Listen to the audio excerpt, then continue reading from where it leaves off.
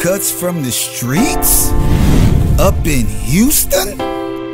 Texas? Wait a minute. I know it's about to go down. Cuts from the streets, yeah. Up in Houston, Texas. Cuts from the streets, yeah. Up in Houston, Texas. Cuts from the streets, yeah. Up in Houston, Texas. Cuts from the streets, yeah. Up in Houston, Texas. Cuts from the streets, yeah. Up in Houston, Texas. Cuts from the streets, yeah. Up in Houston, Texas. Cuts from the streets, yeah. Up in Houston, Texas. Cuts from the streets, yeah. Up in Houston, Texas. Film crew coming to you.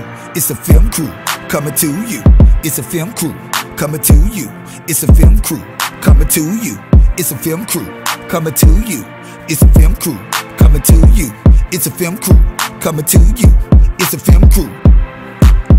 We out here for our people, showing God's ways is a little more deeper. We want to hear what you have to say from Black History to Sabbath Day. So we Bible ready, geared up at Mikey, listening to Heart, Souls, and Psyche. Hitting South Park to that Fifth Ward, introducing God's word, and that's that song. Don't be surprised seeing the film crew. Just come right over for your interview to see what you know if you got a clue. When done, you know what we say is true. From Christ, men black to God's holy day. Lord, will you change from wicked ways?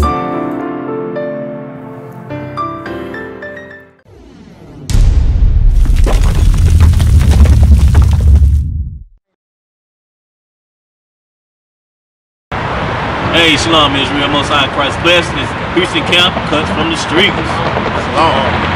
So we are here today. We're gonna ask our people about Black History Month. Of course, because they say February is Black History Month, not knowing that it ain't just February that our history that we should think about our history, man. That's right.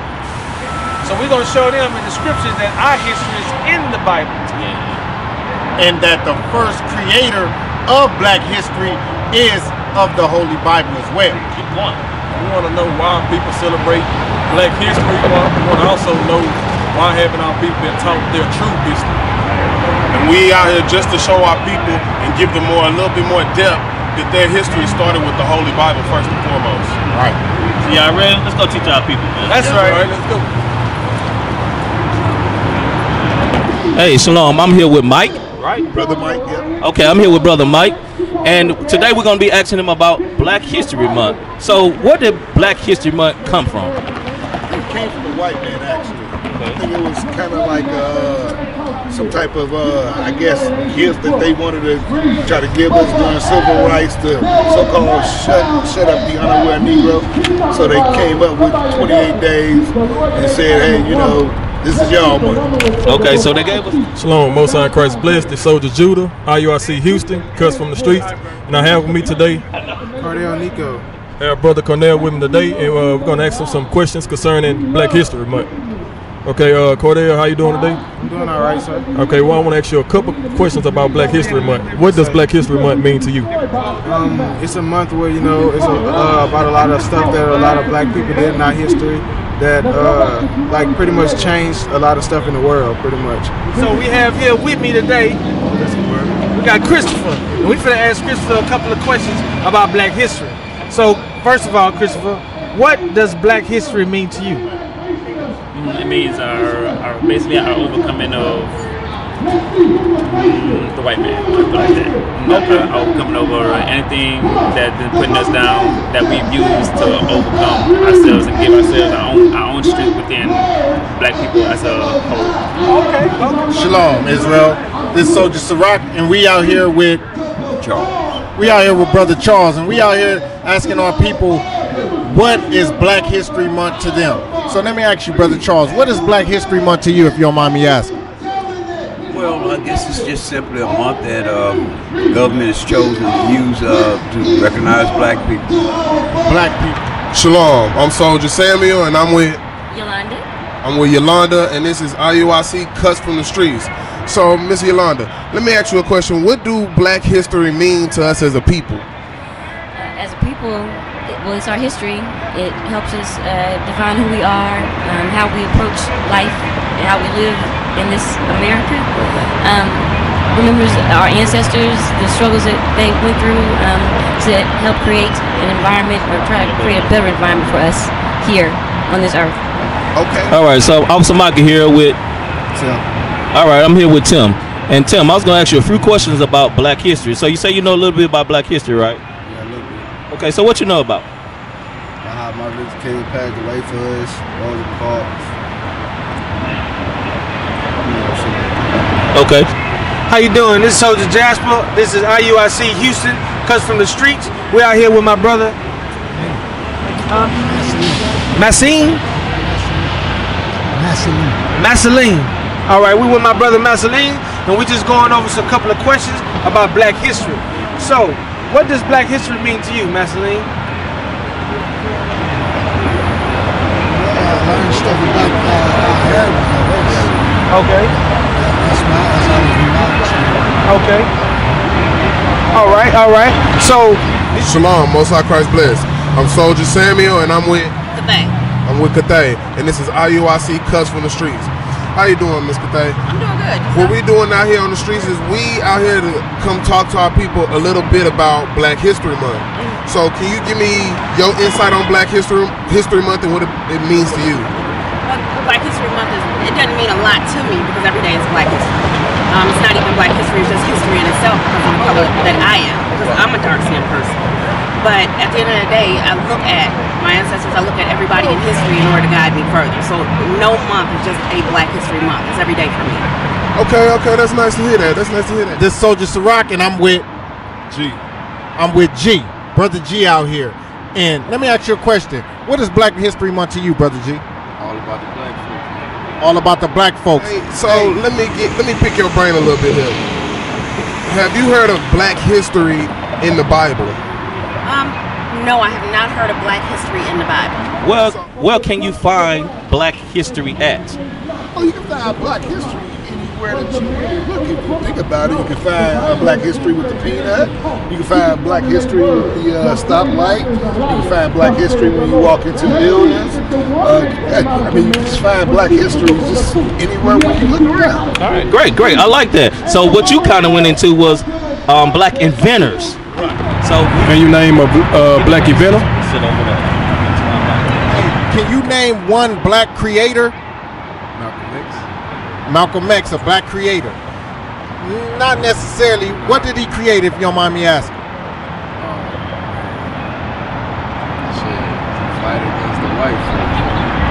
Uh, can you name a black inventor?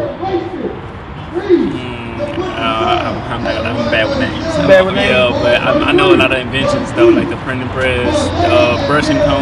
that- That's made by black men, by black female. The shampoo, the condition store. Yeah, I, I know. Um, do you know any black inventors? Person. Yes, sir. Have you ever read about one? So I'm gonna run off something to you that we're seeing it right now. We downtown Houston. So if you look at the traffic light, uh, Garrett Morgan made that. One of the black inventors. His name Garrett Morgan. Um, the street sweeper that they, they clean up the streets with, they use that. Charles B. Brooks, he used that. Another black inventor. Um, I like this one, the egg beater. You know, we always like to eat the egg beater. You know, some scrambled eggs. Willie Johnson. that sounds like a brother. Willie, come on, Willie. I'll cook these eggs. so Willie Johnson is the uh, creator of the egg beater. We got a couple of people. You said the hairbrush. Uh, Linda O. Newman. That's who made that. All right, all right. So we you can find black inventors in the history that they did the things like it back in 1926 and you know 1800s things like that. So that's about the black inventor. Now the history of black people. What if I told you you could also find it in the Bible? What would you say about that? Oh, I agree, very much so. Do you know uh, black history is actually recorded in the Bible? Uh, no, sir. Would you do you think our book, our history, is in the Bible? Yes, sir. Black history start with slavery. Yeah, did black history start with slavery? Maybe the black history that we remember here in, in, in America. But no, black history is, is thousands of years old. Okay, okay. Right. Uh is black history in the Bible? um, it, it is if you know to look for it. but they don't really uh, define it. All right. So what if I tell you the first black inventors in the Bible? Yeah, you didn't know that? Well, then, Black History Month is really is something that our oppressors taught us somewhat, but we're also out here showing our people that Black history started before uh, slavery, and Black history is really in the Bible. The Holy Bible is Black history. But now Jesus is black, right? Yes, ma'am. Jesus Christ is black, Okay, and so then that's not even black history. That's just black, right? Probably about six months ago, I probably agree, but I'm a fact checker. So what I did, I heard you over there talking, so I went on the internet. Then I started looking. Then I got me a 1611 um, uh, uh, King James version. I started to read the Apocrypha. I started listening to uh, videos of flat Earth. Right. And I started being aware. My eyes started opening up. So I started reading Deuteronomy uh, 28. 15 through all the way up. So then I, I became convinced. Because Right. it was the truth. Right. So Uh, so can I show you some black history in the Bible? All right. So let me get a reader. Let me get Deuteronomy 28 and 68. So let me ask you something, Chris. If you know anything about black folks' history, um, how did we come over here to America? I believe it's by a ship. By ships, right? Okay. So let's see what the scripture says about how we got over here. All right. Yes, sir. The book of Deuteronomy, chapter 28, verse 68. And the Lord shall bring thee into Egypt again with ships, by the way whereof I spake unto thee. Thou shalt see it no more again. And there ye shall be sold unto your enemies for bondmen and bondwomen, and no man shall buy you. So you see that? You said how we got over here? By ships, right? Now I want to show you the slave ships. Verse 68 And the Lord shall bring thee into Egypt again with ships. With what? With ships. You know the history about the Israelites in uh when they went to when they was in Egypt. Well, when they was in Egypt, they was in slavery. So we came from the land of Israel. You can walk from Israel to um, Egypt, for example. That bank right there, me and you can literally walk over there, right? And we can walk back. So why would we need a ship to go back somewhere that we walked at? We wouldn't need a ship because man, you can walk back over there. So I'm gonna show you what Exodus was synonymous to uh, in Deuteronomy. Read what you got. It's the book of Exodus, chapter 20 and verse 2. Come on. I am the Lord thy God, which have brought thee out of the land of Egypt, out of the house of bondage. What is Egypt? Read it again. Pay attention when he say out of Egypt. See what he say after that. Exodus chapter 20 and verse 2. I am the Lord thy God, which have brought thee out of the land of Egypt, out of the house of bondage. What's Egypt? The house of bondage. What's another word for bondage? Think about it. Bondage. You constrained. Look at that picture. What's that called? You got chains on our neck, we in bondage. Slavery. There you go, slavery. Go back to Deuteronomy 28, verse 68. Now you know what Egypt means. Remember, we walked out, so now we need ships. So, so now you know it means slavery, the house of bondage. So when he say bring it back to Egypt, think about slavery. Read. Deuteronomy chapter 28, verse 68. And the Lord shall bring thee into Egypt again with ships. Going to slavery again with what? With ships. With slave ships. Come on. By the way whereof I spake unto thee. Just the way Moses prophesied. He said, if we break the commandments, we'll be going to slavery on ships. Now, this during the time of Moses, thousands of years ago. But this happened to me and your ancestors to, today. Read. Thou shalt not see it no more again. What's our homeland? Israel. You got it. Okay. Go ahead. Thou shalt not see it no more again. And there ye shall be sold unto your enemies. Unto who? Unto your enemies. He say we shall be sold to our enemies. What nation of people was we sold to over here in Americas? What people had us put chains on? Which people had us in slavery, which dominates America today? The who? So what do God call them? Enemies. Yeah, what? Enemies. So the same people had us in bondages are what? Enemies. That's what God called them. Not me, but God called them our enemies. Read. For bond bondmen Slave men, and bondwomen, bond women. and no man shall buy you. Meaning no man shall redeem you. Like we had Martin Luther King, which is one of our uh, great brothers who paved the way for a lot of things, but he couldn't redeem us from the situations we in. So we're gonna identify that history did, and in fact, start with the Holy Bible beyond anything. Okay, read. Deuteronomy chapter 28, verse 32. Uh-huh. Thy sons and thy daughters shall be given unto another people. So it says thy sons and thy daughters shall be given unto another people. Who did that? Who did that event happen to? That's black people. Exactly. So Moses saying, okay, to the children of Israel, if y'all break God commandments, these curses, and one of the curses is read it again. Thy sons and thy daughters shall be given unto another people. Say that your sons and daughters gonna be given to another people. That happened to us in the transatlantic slave trade, and, and, and before then, that's just uh, what our people know today because of the school uh, systems, what they teach us in school. So we know for a fact that that's uh, in the Bible. So Black History did start the, with the Bible. So Moses is saying these curses going to fall upon one particular people, and this this happened in our history, letting you know this Bible is our history book. So we reading slavery in the Holy Bible. Uh, jump to verse 68. Verse 68 And the Lord shall bring thee into Egypt again with ships. Say again with ships. So the children of Israel went into bondage again with ships. Mm. How did we get here on Amer- to America? We got here on ships. So I'm just showing you right here that the Holy Bible is black history. You understand? I can identify. You, you understand? I can identify. Okay, so because knowing your history is good um, and knowing you know the inventors that's wonderful because a lot of people don't know that but let's see what the scripture says about us our people and the things that we should do with our black history not only just that month but with our history This is the book of Deuteronomy, chapter 10 and verse 12. And now, Israel, what doeth the Lord thy God require of thee? But to fear the Lord thy God, to walk in all his ways, and to love him, and to serve the Lord thy God with all thy heart and with all thy soul, to keep the commandments of the Lord and his statutes, which I command thee this day for thy good.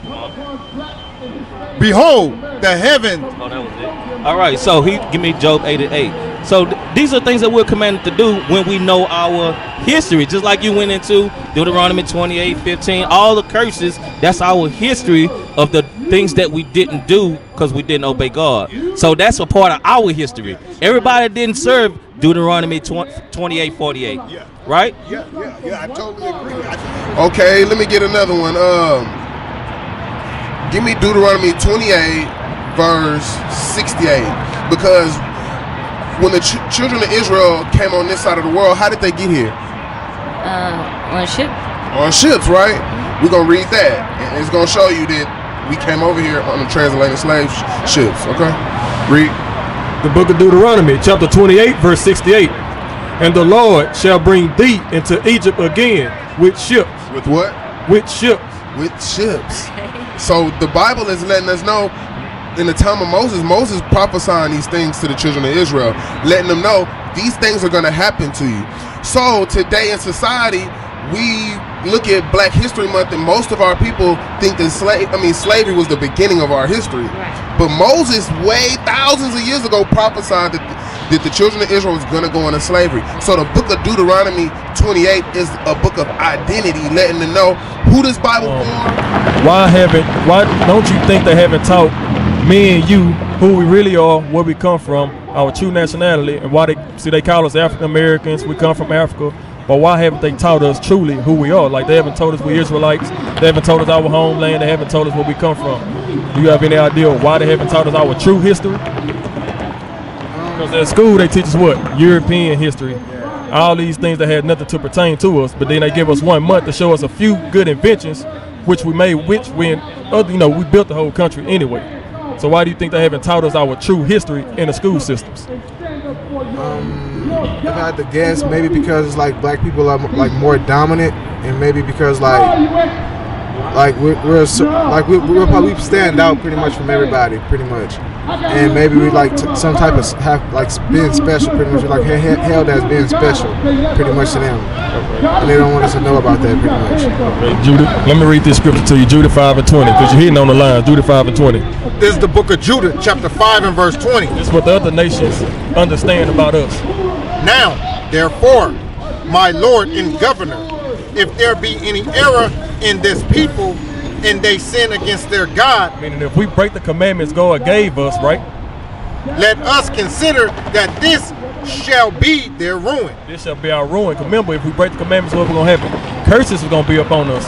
By them understanding who we are in our true history is a reason why they wouldn't teach us that. Because if they teach us that, we keep the commandments, meaning what? We'll get blessed, we'll come up high. So if you're an enemy, if I'm your enemy, I wouldn't teach you things that'll bring you above me. I'm gonna teach you things that's gonna keep me on top of you. Right, exactly. Read. and let us go up, and we shall overcome them. See that?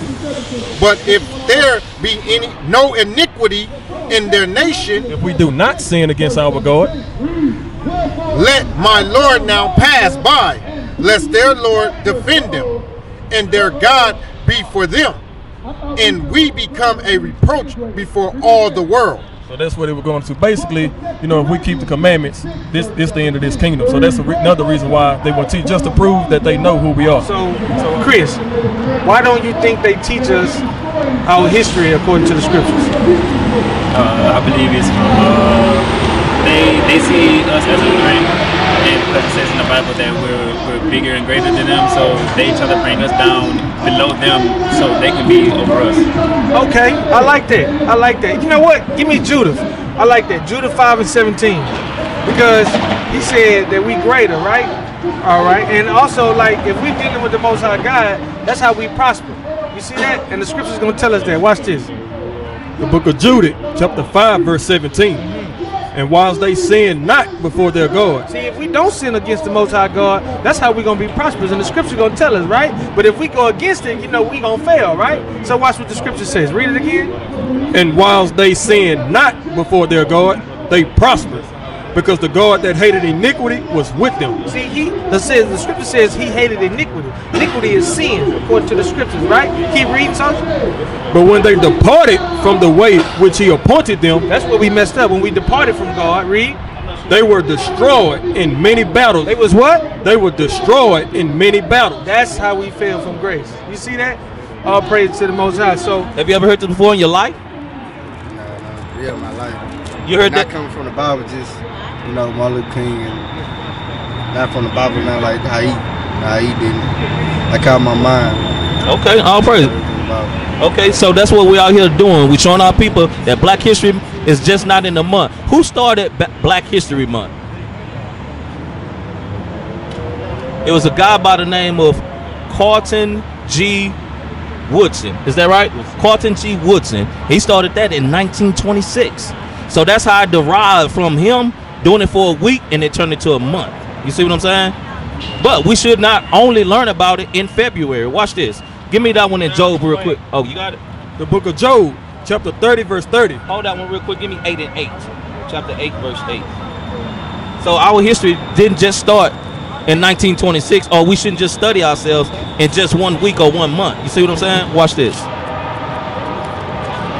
The book of Job, chapter 8, verse 8. Mm-hmm. For inquire, I pray thee. So he was telling you, Tim, I'm I'm praying or I'm asking for you to inquire or to look into of the former age and prepare thyself to the search of thy father. So he's telling you search out your history.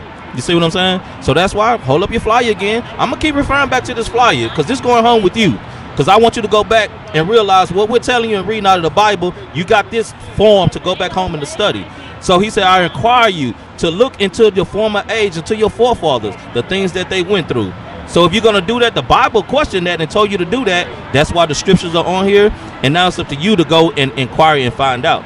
You understand that, Tim? Yes, sir. So uh, let me ask you. Man, our be tripping, man.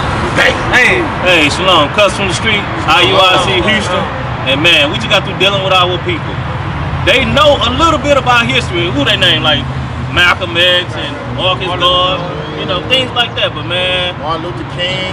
They got a long way to go, man. Because it's more than just one week or one month that we should be thinking about our history. Right. We should be thinking about our history all year, coming out of that Bible, because some of our people, man, they lost out here and destroyed. Yeah. It was amazing to find out that our people know a little about history in terms of slavery, how we got here. What they did not know it was actually recorded in the scriptures, and they did not know what was our true nationality, what we was called before slavery, before Black History. Right. Like it says in Jeremiah, we were discontinued from our heritage. We discontinued from the things that the Bible told us to do. So we had to show our people what we're supposed to be doing out here. Right, right. Hosea 4 and 6 say, we destroy from a lack of knowledge.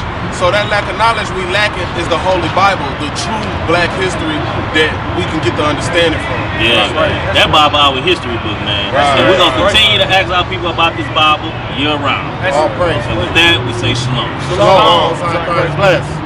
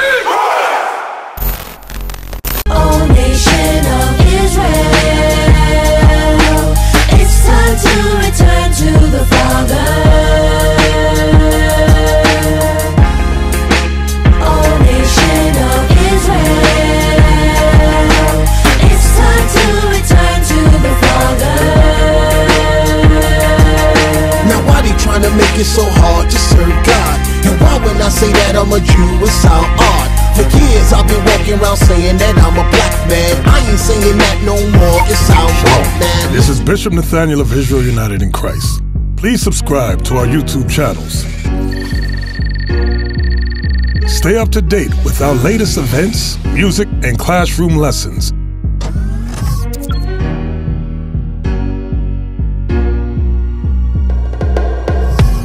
IUIC plans to continue visiting different countries where this gospel has not been preached before. IUIC needs your help in pushing this truth.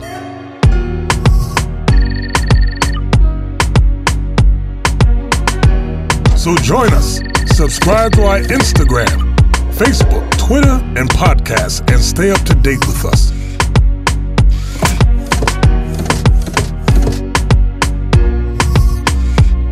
For more information, please visit www.israelunite.org.